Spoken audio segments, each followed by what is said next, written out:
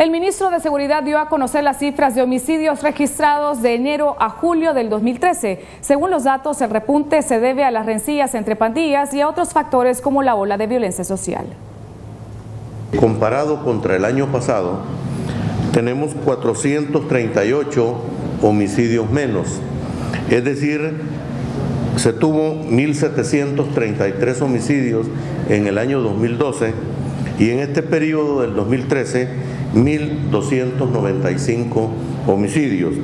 Eso nos lleva que la tasa promedio diaria en el 2013, en este periodo, es de 6.1 versus 8.2 que fue en el periodo del 2012.